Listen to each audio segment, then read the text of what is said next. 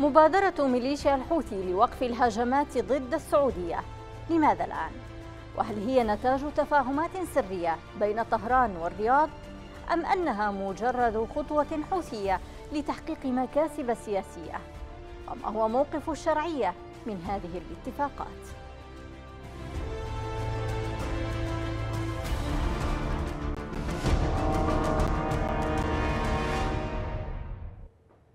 أهلا بكم أولا شن الحوثيون هجوما بطيران مسير وصواريخ باليستية ضربت قلب صناعة الطاقة السعودية أرامكو.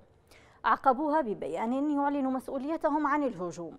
السعودية ذهبت لاتهام إيران. عاد الحوثيون بمبادرة سلام لوقف استهداف الأراضي السعودية شريطة إعلان مماثل من الجانب السعودي. الأمم المتحدة سارعت بالترحيب بعرض الحوثيين على وقف الهجمات على السعودية في إطار مبادرة سلام سلسلة من الأحداث والمواقف الدولية تبدو فيها الشرعية غائبة أو مغيبة عن تلك التفاهمات فما هي أسباب هذه الدعوة ولماذا الآن؟ وهل فعلا هي مبادرة حوثية أم أن هناك اتفاقات سرية بين المملكة وإيران؟ ولماذا هذه الاتفاقات أحادية تقفز على الشرعية؟ نعلن عن وقف استهداف أراضي المملكة العربية السعودية في إعلان مفاجئ قررت ميليشيا الحوثي وقف الهجمات على السعودية باستخدام الطائرات المسيرة والصواريخ وهم أي الحوثيين في انتظار إعلان سعودي مماثل لوقف استهدافهم مع احتفاظهم بحق الرد في عدم الاستجابة لمبادرتهم. الأمم المتحدة لم تنتظر طويلا إذ سارعت إلى إعلان ترحيبها بهذا العرض الذي قدمته الميليشيا وقالت في بيانها إن المقترح ينقل رسالة قوية عن رغبة الحوثيين في إنهاء الحرب. دعوة الميليشيا هذه حملت تأويلات كثيرة خصوصا أنها جاءت عقب هجوم استهدف منشأة نفطية سعودية. وقد أعلن الحوثيون مسؤوليتهم عن الهجوم لكن الولايات المتحدة والسعودية أشارتا بأصابع الاتهام إلى إيران حيث أكدت المملكة عزمها على دعوة خبراء دوليين وأمميين للمشاركة في تحقيقات الهجوم على أرامكو. تعيش السعودية وضعا حرجا بعد أن أثخنها استهداف صواريخ ميليشيا الحوثي وطائراتها المسيرة لمواقع حيوية بين الفينة والأخرى. ويرى محللون أن هذا الإعلان جاء عقب تفاهمات سرية سعودية إيرانية بوقف التصعيد ودعوات أطلقها كثيرون بأن حل أزمات الشرق الأوسط لن يكون إلا بحوار سعودي إيراني مباشر خصوصا وأن موقف السعودية تجاه دعوة الحوثيين بدا متجاهلا حيث قصفت السعودية مناطق تابعة للحوثيين في الحديدة بعد يوم واحد من تلك الدعوة على وقف الهجمات. وما هو لافت أن الحكومة الشرعية اليمنية غابت تماما عن أي مبادرات أو دعوات لوقف الحرب. شيئا فشيئا تخرج الشرعية من دائرة الاهتمام الدولي والإقليمي خصوصا أنها لم تعد تمتلك ارضا تقف عليها لإدارة حربها واستعادة الدولة ولا قرار يلزم التحالف بالامتثال لها كونها صاحبة الشرعية والأرض وطلب التدخل. أهلا بكم مشاهدينا وأرحب أيضا بضيفي هنا في الاستوديو الكاتب والباحث نبيل البكيري وسينضم معه آخرون خلال هذه الحلقة عبر الهاتف. بداية مساء الخير أستاذ نبيل. مساء النور لك ومشاهدينا الاكرام اذا رئيس ما يسمى بالمجلس السياسي مهدي المشاط يعلن قبل أيام وقف آه، استهداف السعودية. برأيك بداية ما هو سر هذا التوقيت؟ لا شك مثل هذا التوقيت هو أو مثل هذا الإعلان في في الأساس هو نتيجة ل آه، أو الهدف منه بدرجة رئيسية هو آه، حصد ثمار الهجمات المستمرة على أهداف في المملكة العربية السعودية من خلال هذه العمليات. يعني يعتقد الحوثيون ومن خلفهم إيران أن السعودية ستخضع في نهاية المطاف لشروطهم وإملاءاتهم وستقف عملية الاستهداف لهم ولمقدراتهم العسكرية في الجبهات. وستقف يعني الهدف المركزي منها هو الضغط من أجل إيقاف الهجمات القوية لطيران التحالف وطيران المملكة العربية السعودية تحديدا فيما يتعلق بالعمليات العسكرية. هذا هو الهدف الجوهري من الإعلان. آه، يأتي في إطار الضغط المستمر وخاصة أعقاب أحداث آه، استهداف آه، أرامكو. التي ربما كانت أكبر ضربة تلقتها المملكة العربية السعودية يعني حتى الآن فيما يتعلق بضربات الطيران الجوي أو حتى الصواريخ البالستية التي تم استهداف بها المملكة. بتقديري أنا أنه المملكة العربية السعودية أيضا هي هي في في حالة ارتباك فيما يتعلق بردة الفعل وخاصة أن هذا الارتباك منشأه أساسا هو حالة الحليف الأمريكي الحلف الأمريكي التي آه يعني سبق وأن أسقطت إيران إحدى طائراته في مضيق هرمز في الأشهر الماضية.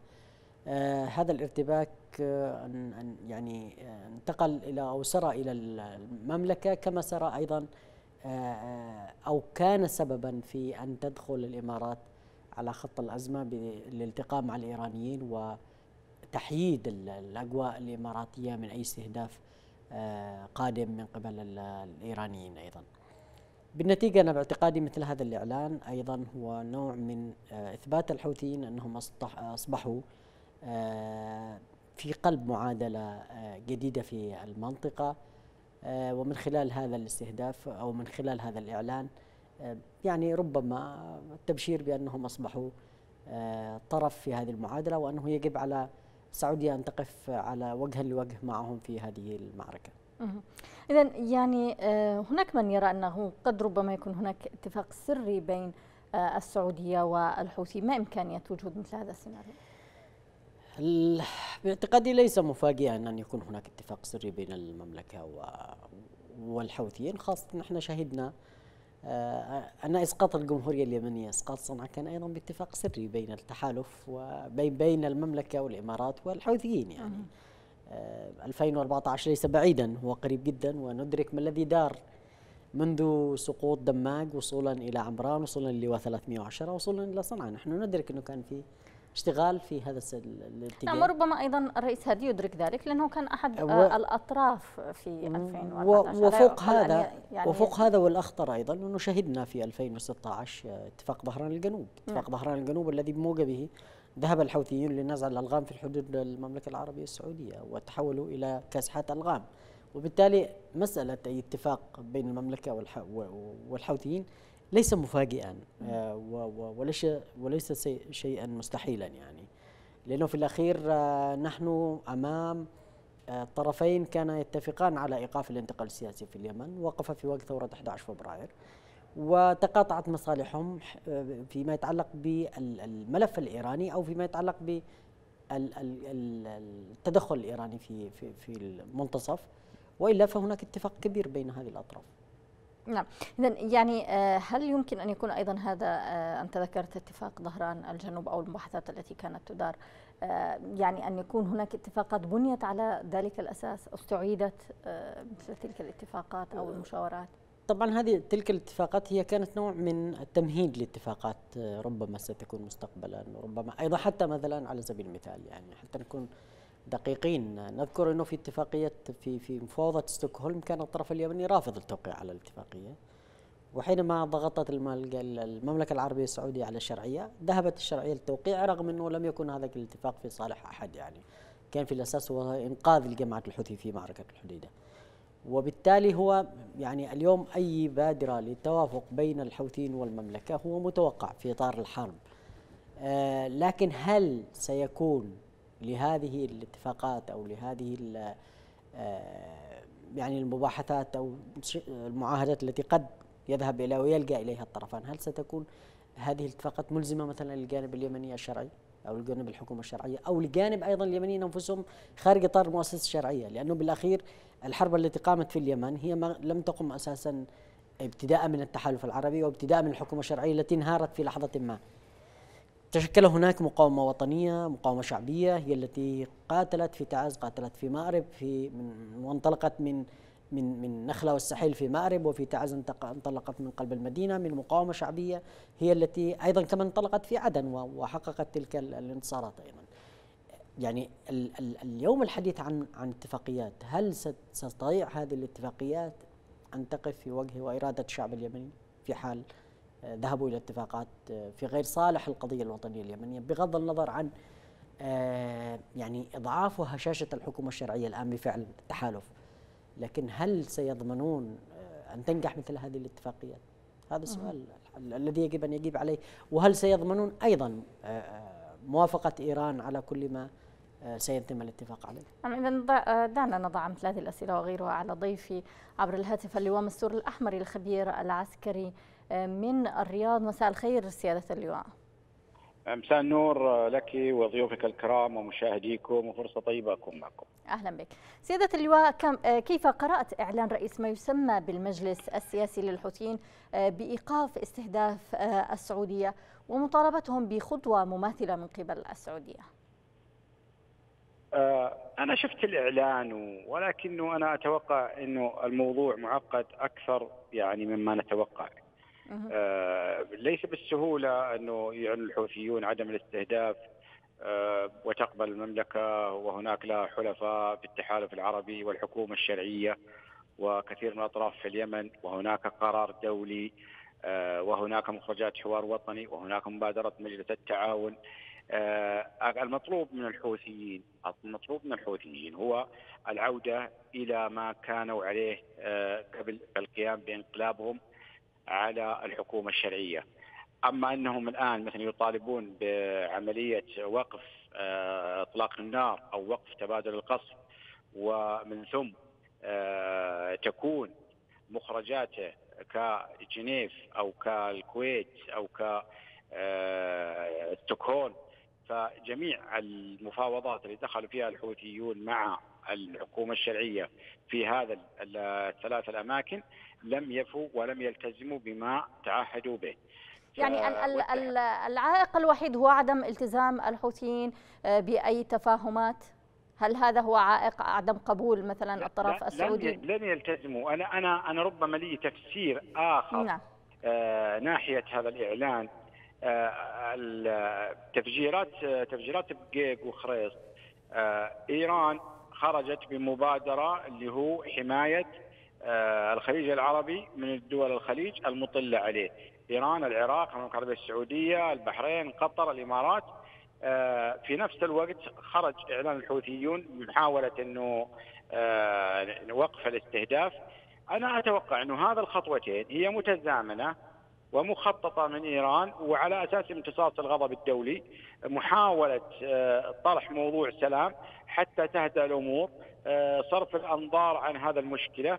ولكن أنا في توقعي أو تقديري أنه التحالف لن يقبل إلا بتنفيذ القرار الدولي آه، الصادر 22 16 غير ذلك أنا لا أتوقع والحكومة الشرعية كذلك أنا لا أتوقع أن تقبل آه، إيقاف إيقاف الاستهداف ولا زلت موجود في صنعاء ولا زلت موجود محتفظ بسلاحك ولا زلت تسيطر على أجزاء من اليمن ولا زلت آه، يعني تقوم بما تقوم به ضد المواطنين اليمنيين وضد الدول الأخرى ولا زال الخطر الإيراني موجود في شمال اليمن أنا أتوقع أنه لن يقبل التحالف بهذا العرض ابدا. نعم يعني ألا تعتقد آه، سيادة اللواء أنهم وضعوا مثل هذا الإعلان من منطلق قوة يجدون في أنفسهم خاصة وأن صواريخهم وصلت إلى العمق السعودي آه، وحتى نلاحظ أن انت تتحدث عن قرارات مجلس الأمن ومبعوث آه، الأمين العام يعني رحب بهذه الخطوة من قبل الحوثيين ودعا الرياض للجلوس مع الحوثيين إلى طاولة الحوار. إذا إذا الجلوس معهم سيؤدي إلى تنفيذ القرار الدولي وتنفيذ متطلبات الحكومة الشرعية التي قام من أجلها التحالف العربي فأنا آه، أتوقع ربما يكون هناك مباحثات لكنه آه، الآن هو الإعلان عن وقف إطلاق النار أو وقف الاستهداف آه، عملية الصواريخ إحنا لا ننسى أنه الحوثيين أطلقوا 250 صاروخ يعني جميعها أسقطت لم تصل إلى أهدافها. الطائرات المسيرة إذا إذا وصلت يعني مرة أو مرتين فهناك أكثر من 180 أو 200 طائرة مسيرة تم اسقاطها فالعملية ليست عملية وقف إطلاق النار العملية عملية التزام بأهداف التحالف العربي والحكومة الشرعية. العملية بأنه آه، يعني إيقاف إطلاق النار لأجل ماذا؟ هذا الخطوات هي لامتصاص عملية امتصاص الغضب الدولي وامتصاص الرأي العام يعني ما صدر من رأي عام دولي ودانوا هذا العمل العمليات. فهذه خطوات طرح طرح من قبلهم يعني آه، مبادرة وطرح من قبل إيران مبادرة. آه، مبادرة في اليمن ومبادرة في إيران. فهذا الخطوتين هي إنما للحصول على تأييد من الرأي العام الدولي محاولة التغطية على الموضوع اللي حصل. وشهر أو شهرين وتعود الأمور كما كانت. إحنا لا ننسى مفاوضات ستوكهولم وتابعناها كيف كانت يعني بالنسبة للحديدة. ولم يلتزموا الحوثيين بشيء وأعيدت مفاوضات ومن ثم نزلت إلى مستويات أخرى. المفاوضات اللي سبقتها الحوثيون ملتزمين بسياسة إيران لن يحاولوا أن يحيدوا عنها. ويعني المصالح الإيرانية لديهم هي أكثر من المصالح اليمنية. وهذا تؤيده جميع الخطوات اللي يتخذونها وهي خطوات واضحة لا غبار عليها فأنا ربما هذه قراءتي بالنسبة للأحداث وأنا أتوقع إنه التحالف يعني آه، لديه كذلك من الأمور أكثر، لديه رؤية أوسع، آه، القيادة السياسية لديها رؤية فليس بالسهولة أن توقف إطلاق النار ومن ثم ومن ثم ماذا؟ يعني نعم. التفاهمات على ماذا؟ إلى إلى أين؟ يعني م. إلى 22 16 ممكن. لكن آه، بس مجرد وقف اطلاق النار والاستهداف طبعا بالطبع لن لن يرضى الحوثي بهذه البساطة العودة إلى قرارات 22 16 ولكن اسمح لي بالبقاء آه، معنا سيادة اللواء آه، أشرك في هذا الحوار. ضيفي هنا في الاستوديو نبيل البكيري ما رأيك بحديث سيادة اللواء بأنه عدم يعني هي وهي قراءته يعني استحالة قبول التحالف والشرعيه بمثل هذا القرار إلا تحت أطر المرجعيات الثلاث. أنا أتفق آه، بداية مع ما ذكره الأخ مستور الأحمري آه، فيما يتعلق بالتعقيدات الحاصلة في ليس على مستوى مثلا الاتفاق السياسي إنما على مستوى أيضا نتائج تراكمات حرب خمس سنوات. يعني الدمار الذي حل في المنطقة التهديد الاستراتيجي والانكشاف الذي حصل للمملكة أنا باعتقادي المملكة لن تسمح أو لن يسمح لها كبريائها ومكانتها في العالم الإسلامي أن أن تتحول إلى آه، آه، جسر عبور لميليشيات لتحكم اليمن عن طريق قبول المملكة بهذا القبول بالحوثي يعني انتهاء عهد المملكة بأمنها واستقرارها آه، الذي شهدنا شهده وعاشته المملكة طوال تاريخ التأسيس الثالث لها. الذهاب إلى ذهاب المملكة إلى أي اتفاق مع الحوثي يعني قبول المملكة بهزيمة مدوية لها وقبولها بكل ما سيملى عليها من شروط ابتداء من حكم ذاتي الأقلية الشيعية في الداخل السعودي وانتهاء بانتهاء سطوة ومكانة المملكة المركزية في المنطقة العربية. وبالتالي هل تقبل المملكة هل تقبل هل يقبل الحكام الجدد في المملكة بمثل هذا المسار الذي سيحول المملكة من دولة مركزية إلى دولة هامشية على على أطراف دولة الميليشيات الطائفية اليوم الموجودة في صنعاء؟ وبغداد وما قد يخطط له أيضا من الأقليات الطائفية الموجودة في الخليج العربي. نحن أمام آه، آه، يعني آه، ارتباكة تاريخية. هذه الارتباكة التاريخية ما لم يتم استعادة زمام الأمور فيها بحنكة واستراتيجية في التعامل والتعاطي مع الملف اليمني. ربما ستكون نهاية هذه الدول كلها في حالة القبول بهذا الوضع المختلف في اليمن. نعم إذا عودة إليك سيادة اللواء. ما هو رأيك يعني أن قبول المملكة بأي اتفاق من هذا النوع؟ قد يلغي آه، يعني آه، حجم المملكة وأيضا مكانتها بين آه، المجتمع الإقليمي والإسلامي خاصة يعني وأن الحوثي سيبدأ بإملاء شروطه وربما يعني يتجاوز حكم المملكة في ذلك. أنا يعني أطمنك وأطمن ضيفك الكريم أنه المملكة العربية السعودية لن تقبل أن تكون إيران في آه، الجنوب السعودي وفي الشمال اليمني. لن تقبل بأن يكون هناك ميليشيات مشابهة لحزب الله في جنوب المملكة العربية السعودية.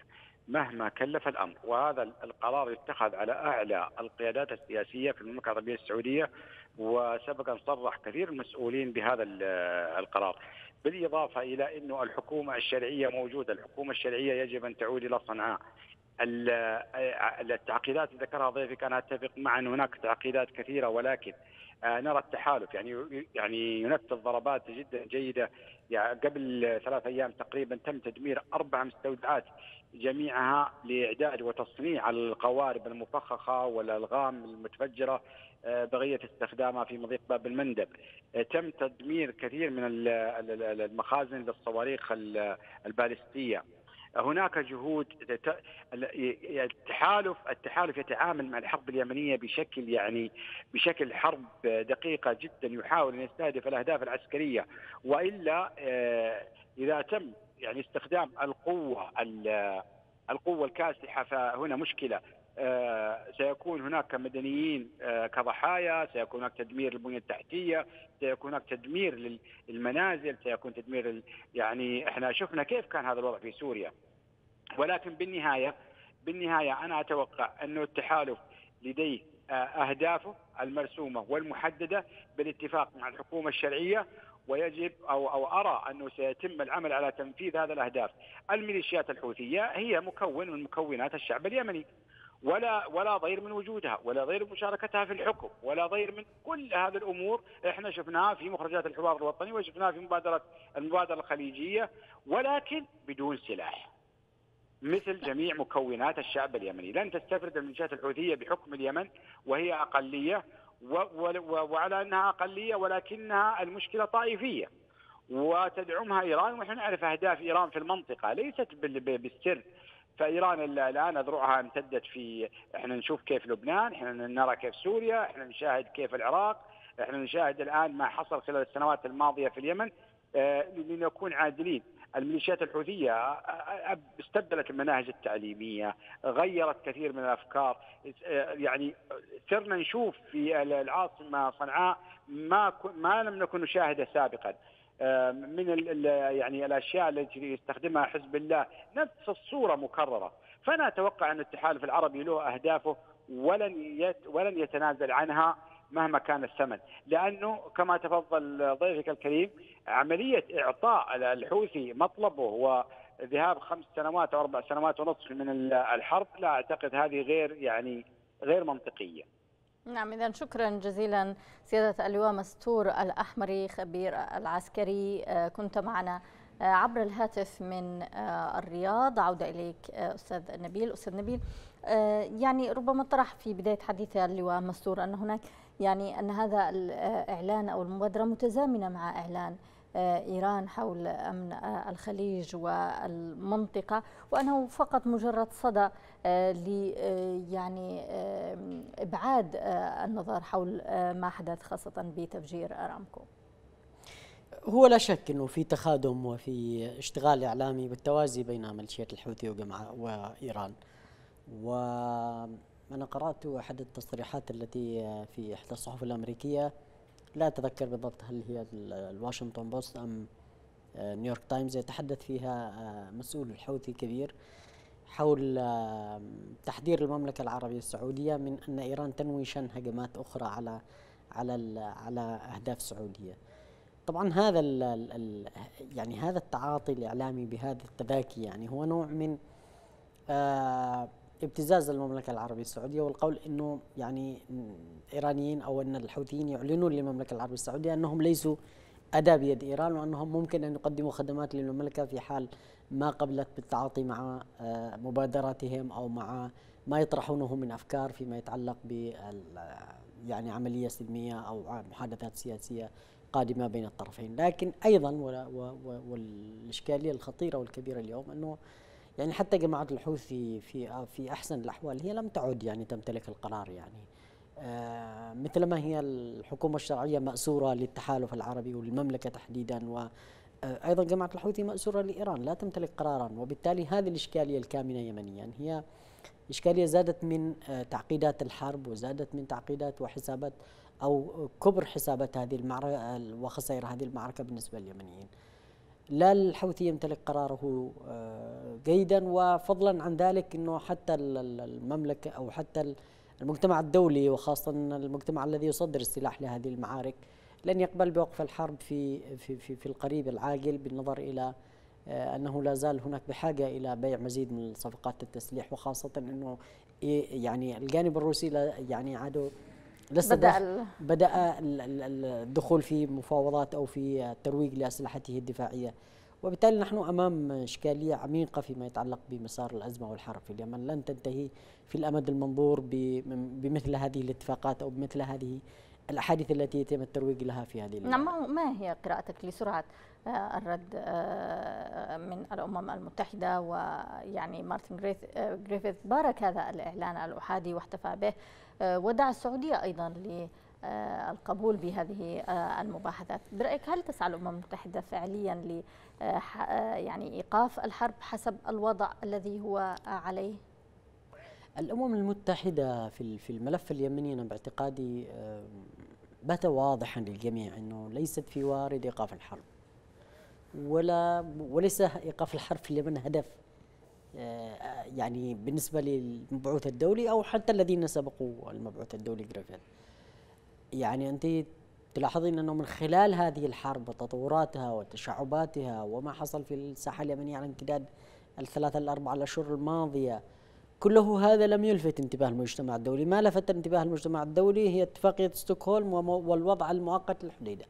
يعني جريفيث الآن كل هدفه وكل استراتيجيته التي قام نقلها هو آه، الحديث عن ما حصل في الحديدة وأن هذا يعتبر إنجاز كبير. ما يتعلق بمجمل الأزمة كلها في في الحالة اليمنية بعد كل هذه التعقيدات التي دخلت بالخط الضربات الاستراتيجية التي توجهت المملكة الانقلاب الذي حصل في عدن آه، حالة التشظي الموجودة في المشهد السياسي بما يتعلق بالصف الواحد في آه، الشرعية والتحالف. كل هذه الانقسامات وكل هذه التباينات أيضا آه، زادت من تعقيد المشهد.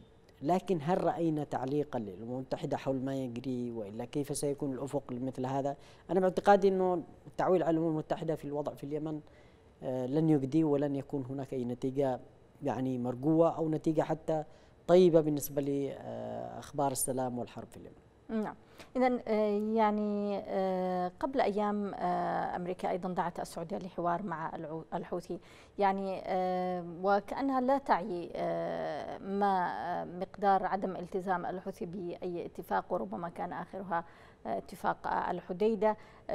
يعني هل برأيك أنها تود إبقاء حركة الحوثي في المشهد اليمني والإقليمي لأهداف وظيفية مثلاً؟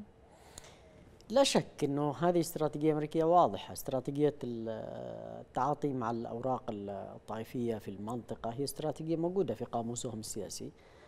وبالتالي هم أيضا يتعاطون مع هذا المشهد، نحن نرى حالة التصعيد مثلا التي تبلغ إلى ذروتها بين المملكة بين الولايات المتحدة الأمريكية وإيران آه، اعلاميا، لكن على ظهر الواقع مثلا آه، هناك معسكرات وهناك سفارات متقابلة وموجودة في بغداد آه، سفارة مقابل سفارة ومعسكر مقابل معسكر.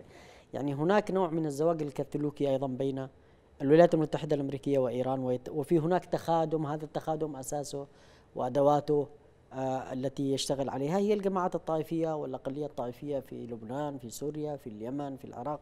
وبالتالي الحديث عن من قبل الامريكان بالذهاب للحوار مع الحوثي هو حديث ينطلق من استراتيجية أمريكية واضحة فيما يتعلق بهذه الأقليات التي توظفها لابتزاز آه، آه، ما ما يفترض أنهم حلفاء لها وهم الخليج. ولإدامة الأزمة وإدامة سوق السلاح مفتوحا لمزيد من الصفقات. هل يعني شعر الحوثي نفسه قويا بعد الاستهداف الأخير وبدأ بطرح هذه آه، المبادرات وكأنه يعني يقوم بلي ذراع السعودية إن لم تقبلي خاصة وهو في الإعلان. تم ذكر فتح مطار صنعاء وإيقاف الضربات ودعا لحوار لأجل إنهاء هذه الحرب وبداية يعني عصر سلام. لا شك الحوثي هو يتوهم أنه وصل إلى هذه المرحلة ويغفل أن الحوثي نفسه هو عبارة عن أداة من أدوات الإيران وأنه لا يمكن أن يتخذ قرارا بمعزل عن المرجعية الإيرانية. وبالتالي هو يعني حالة الوهم التي أتت من من خلال الضربات التي لحد الآن يعني المملكة العربية السعودية تقول أنها ليست لم تأتي من قبل اليمن إنما أتت من من من العراق أو من إيران وبالتالي نعم. حتى هذه الفرضية يعني ورغم إعلان الكثير من الأطراف التي من ضمنها اليوم بريطانيا آه، تصريح للسفر الخارجية البريطانية إنه هذه الضربات أتت من من قبل الايرانيين من مكان غير اليمن، كل هذه يعني الانكشافات التي حصلت للمسرحية ادعاء الحوثي أنه هو الذي قام بهذه العمليات آه تثبت بما لا داعي للمجال الشك أن الحوثي لا يمكن أو لا يملك هذه القدرة على لا على المستوى السياسي العسكري ولا على المستوى السياسي، هو أداة تحرك إيران وأي اتفاق بين الكبار مع الإيران والولايات المتحدة الأمريكية هي ستقرر مصير الحوثي سلبا أو إيجابا. نعم. إذا نسمح لنا أن ينضم معنا الأستاذ عصام شريم رئيس حزب المؤتمر الشعبي العام في الحديدة عبر الهاتف. مساء الخير أستاذ عصام. مساء النور عليك وعلى ضيفك الكريم. أهلا بك. أستاذ عصام كيف تفسر إعلان الحوثيين من طرف واحد إيقاف استهداف السعودية قبل أيام؟ والله شوفي أنا أولا دعيني أختلف مع ضيفك الكريم حول قدرة الحوثيين على المناورة وعلى اللعبة السياسية الحوثيين آه، أصبح لديهم من خلال الممارسة يعني وطول فترة الحرب أصبح لديهم قدرة كبيرة على المناورة واللعب بالأوراق. معظم هذه الأوراق التي باتت بأيدي الحوثيين اليوم آه للأسف الشديد آه كانت تقف وراءها أو تسببت فيها المملكة العربية السعودية ذاتها. والتحالف السعودي الإماراتي الذي آه أعلن آه، منذ انطلاقته أنه جاء من أجل استعادة الدولة والشرعية في اليمن وفشل فشلا ذريعا في أهدافه المعلنة مما جعل الحوثي اليوم يصل إلى هذا هذه المرتبة ويرفع هذا السقف في خطاباته. في الوقت الذي كنا ننتظر في الأشهر الأولى أن أن يتم دخول القوات الشرعية إلى صنعاء وبتأييد دولي وبمباركة عربية وبدعم من مما من التحالف الذي جاء لنصره هذه الشرعية. نحن اليوم بعد خمسة أشهر من هذه الحرب آه نسمع بالعكس تماما أن الطرف الذي يفترض أنه الضعيف والذي كنا نعتقد أنه سيتم الخلاص منه والقضاء عليه خلال أشهر قليلة منذ من انطلاق الحرب نسمعه اليوم يتحدث بخطاب يعني واثق وأنه هو من يقدم المبادرات بأنه سيوقف ضرباته للسعودية في الوقت الذي كانت المملكة أعلنت منذ اللحظات الأولى لانطلاق عاصفة الحج أنه تم السيطرة على الأجواء اليمنية وعلى وتدمير ما نسبته 90% من القدرة الصاروخية وقدرة الدفاع الجوي اليمنية، نحن اليوم بعد خمس سنوات من هذه الحرب ومن انطلاقتها نسمع وزير الخارجية السعودي آه يتحدث عن انتظار مدى جدية الحوثي في هذه المبادرة وكأن هذه المبادرة التي أطلقها الحوثي والتي كانت مثار سخرية لدى البعض أنها يعني كانت تلاقي لدى السعوديين يعني حالة من التمني أن تنفذ. إذا ما هي الأسباب التي أوصلتنا إلى هذه الحالة وأوصلت الحوثي إلى هذا المستوى من القوة والقدرة على المناورة ولعب واللعب بالأوراق والتحدث بهذه القدرة العسكرية. ولنقل أن خلفه إيران أو خلفه من خلفه. أيضا السعودية ليست قوة يستهان بها في المنطقة اقليميا وعلاقاتها الدولية يعني هل, مجرد الإعلان يعني آه، بحجم القوة أستاذ عصام خاصة يعني إذا ما آه، رأينا تزامن بينه وبين إعلان إيران آه، بحفظ أمن الخليج يعني وكأنه فقط يعني لفت النظر وإلهاء العالم عما حدث في أرامكو. إيران أختي الكريمه إيران تقدم مبادرة اليوم أمام الأمم المتحدة آه، كيفية حماية الخليج. هذه المبادرة باعتقادي أن تتطاول إيران وتقدم مثل هذه الرؤى. هذا فيه اساءه كبيره لاشقائنا في الخليج ويتحدث ضريح بكل وضوح أن الدول التي تشتري أمنها من الغرب لا يمكن لها أن أن تحسم حربا عسكرية.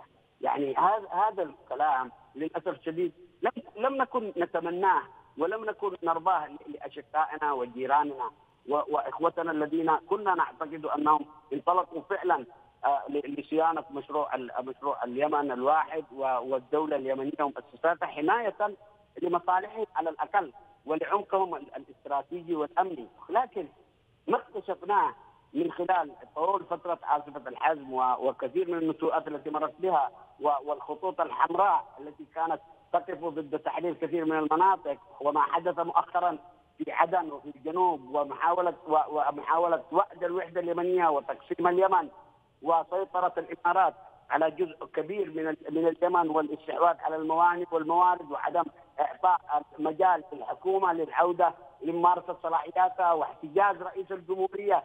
كل هذه الممارسات يعني هي من أدت بالمملكة العربية السعودية إلى هذا المنحدر الخطير المنحدر الخطير الذي جعل من من الإيرانيين يتحدثون بهذه اللغة العنجهية المرتفعة الصك ومن أيضا ومن خلالهم استطاع الحوثي وغيره أن يتحدث بهذه اللغة القوية بل أنهم حشدوا ان ان أن السعوديين والإماراتيين كذلك حشدوا حول الحوثيين كثير من من الجماهير التي كانت تقف ضد الحوثي وضد مشروعه في اليمن وكلما طالت أمد الحرب دون حسم وكلما عبثوا في الملف اليمني بهذه الصورة كلما حشدوا اليمنيين آه، حول آه، يعني رفض التحالف وحول آه، يعني وبدأ اليمنيين يكتشفون ان أن هناك أهداف غير معلنة لهذا التحالف تستحق أن لا على الأقل إن لم يقاوم الناس التحالف ان أن لا يقفوا خلفه ولا يصفوا خلفه كما كان في البداية.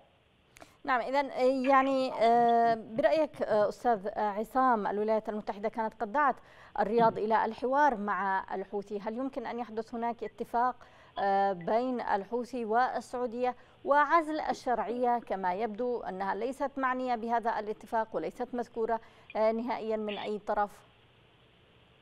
الحوثي قد سبق وتحاور مع السعودية ولديه يعني قنوات مفتوحة مع السعوديين والتقوا في في ظهران الجنوب وكما نعلم نعم. باتفاقيات ظهران الجنوب أيام ما كان آه، علي عبد الله صالح لا زال على قيد الحياة وكان يعني اشتاط غضبا وحنقا عندما تجاوزوه.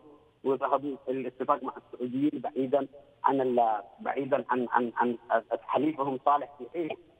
يعني هذا ليس شيء غريب على على السعوديين، السعوديين من حقهم بل أنا أنصح الإخوة في السعودية أن يلتقطوا هذه المبادرة وأن يذهبوا لحوار مع الحوثيين لأن لأنهم باعتقادي أنه أن سياستهم استمرار سياستهم في إدارة الصراع والملف اليمني بهذه الطريقة وبما والطريق الذي تجرهم اليه الإمارات للأسف الشديد هي طريقة خاطئة ولن تؤدي إلى إلى نتائج خاطئة لن تجني ثمارها ولن تخسر الخسارة الكبرى إلا المملكة السعودية ذاتها. الحوثيون ليس لديهم الكثير يخسروه لأنهم هم يقاتلون كمجموعات مسلحة اشبه بحرب العصابات. آه، ليس لدى الحوثيين هذا الهم الكبير بما يتعلق بإدارة الدولة والشعب والموارد نعم. وكيف وكيفية آه، إدارة موازنة عامة للدولة وال يعني ليس لديهم هذا الهم الكبير. لذلك هم يوظفون كافة الموارد الاقتصادية المتاحة لديهم من خلال المواني والتجارة في النفط وغيرها.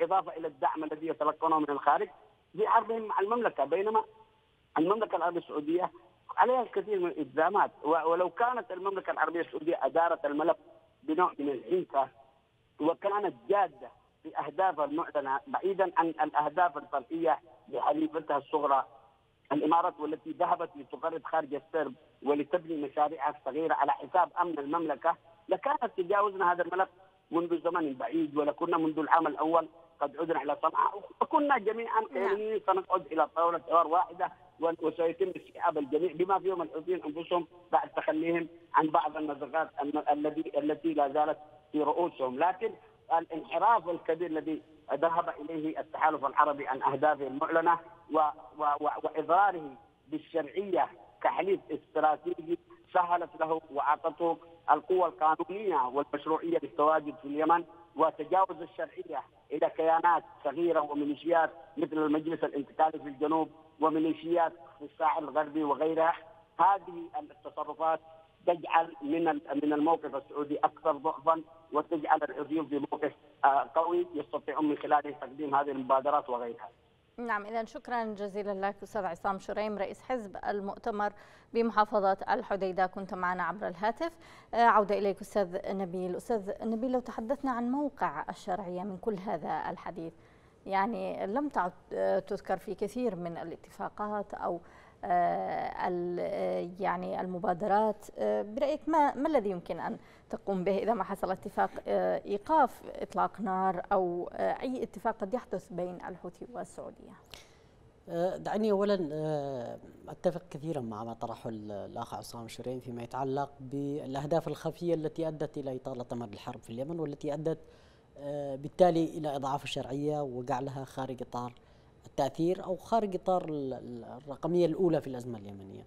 يفترض أن الشرعية هي رقم واحد في المعادلة الموجودة في اليوم لكن بفعل سياسة التحالف بفعل الأجندة الخفية القذرة التي ظهرت بانقلاب أغسطس الماضي في عدن آه، الاقتتال اليوم الحاصل تدخل الإمارات ضد الجيش الوطني وكل هذه أنا باعتقادي آه، أدت إلى زعزعة حتى رؤية المجتمع الدولي لليمن وللحكومة الشرعية تحديدا فيما يتعلق بمسار الأزمة اليوم.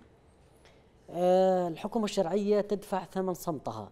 آه، الحكومة صمتت طويلا وقايضت وجودها ربما في الخارج مقابل هذا الصمت ومقابل استمرارها في مواقعها وبالتالي هي اليوم آه، آه، تخسر كل ما كان آه، أو كل ما منحها هذه الشرعية وهو وجودها تمثيل الناس تمثيل اليمنيين في هذه المرحلة. وبالتالي اليوم هي ربما كسبت يعني على المستوى الشخصي كسبوا بعض ال ال ال ال الامتيازات لكنهم خسروا شعبيا وخسر الوطن جراء هذا الصمت الذي أدى إلى هذه الحالة من التضعضع والضعف. أنا باعتقادي أيضا إنه يعني لا زال هناك مساحات كبيرة للعمل والتعاطي مع كل هذه التطورات اللي تحدث. لا زال بيد الشرعية أن تقف أي مهزلة موجودة أو ممكن أو يفترض أن يذهب أو متوقع أن يذهب لها هذه الأطراف سواء المملكة أو الحوثيين أو غيرهم.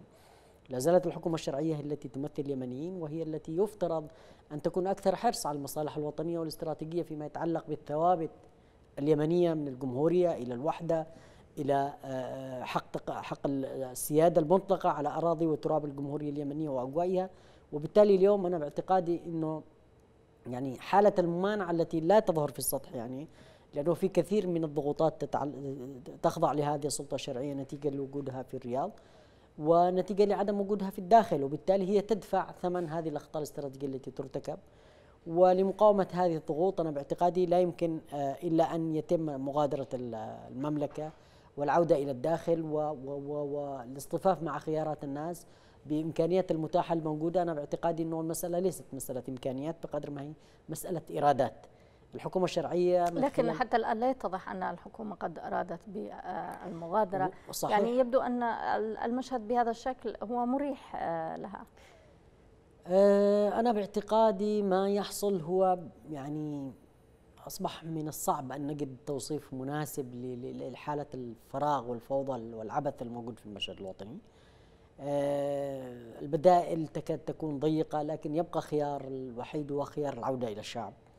العودة إلى الداخل العودة إلى خيارات الناس وإرادتهم هي الطريق الأقرب والأسلم والأنجى والأطهر لتطهير نعم، الأخطاء السياسية السابقة. نعم ربما مر مرت آه، الحكومة بظروف أو بفرص كانت مناسبة لها لأخذ آه، يعني صحيح. آه، زمام صحيح. العودة و... أنا أتفق معك. نعم. وكلما طال أمد في كل الحرب. مرة يعني تهدر مثل هذه وفي كل مرة طول أمد الحرب دون آه، يعني استعادة زمام المبادرة من قبل الحكومة الشرعية فيما يتعلق بقرارها السياسي. هناك قرار سياسي مرتهن. هناك قرار سياسي مختطف. لا تستطيع الحكومة الشرعية الشرعية اليوم أن تقرر شيء. وهذه الكارثة كنا ولا زلنا نحذر أنه لا يجب أن يصل خيارات الناس إلى هذه العدمية خيارات الشرعية إلى اللا فعل. اليوم الحكومة الشرعية وصلت إلى هذا إلى هذه النتيجة. لكن ومع ذلك نكرر ونقول أنه لا زال هناك يعني مزيد من الوقت لا زال هناك آه، متاح من الفرص للعودة إلى الداخل. أنا باعتقادي تجربة شوة آه، كانت تجربة يعني ملهمة وتجربة يعني يجب أن يبنى عليها ويجب أن يمضى باستعادة هذا القرار الوطني لأن القرار الوطني مختطف ويجب تحريره. تحرير هذا القرار الوطني لا يكون بالاستمرار في الجلوس في المملكة ووضع كل الأوراق في المملكة. اليوم أنا باعتقادي أنه حتى مسألة ما ذكره الأخ مستور الأحمدي في خلال مداخلته أنه يتحدث عن التحالف العربي التحالف العربي لم يعد هناك تحالف عربي. اليوم لم يعد هناك سوى المملكة العربية السعودية هي التي تقاتل في اليمن تحت مظلة الشرعية إن استطاع إن أرادت المملكة وإن لا يعني لا زال العقلاء فيها ينظرون إلى أنه آه، مهم الحفاظ على كيانهم الوطني مثلا المملكة العربية السعودية أنا باعتقادي عليهم أن اليوم أن يعيدوا تصحيح سياساتهم الكارثية فيما يتعلق نعم. بالحكومة الشرعية وأن يتم رسم علاقة واضحة بين الحكومة الشرعية والمملكة العربية السعودية كحلفاء في مواجهة هذه الغائلة مواجهة الحوثي وإيران ومواجهة الإمارات أيضا. ما ما نعم. عملته الإمارات يعني يعتبر خدمة قليلة وكبيرة جدا جدا كانت للمشروع الإيراني لكن لم يستغل. إذا آه، شكرا جزيلا لك أستاذ نبيل البكيري الكاتب والباحث كنتم معنا هذه الحلقة من المساء اليمني. الشكر لكم أيضا مشاهدينا الكرام لحسن متابعتكم. لن ألتقيكم في مساء يمني جديد. كونوا برعاية الله وأمنه.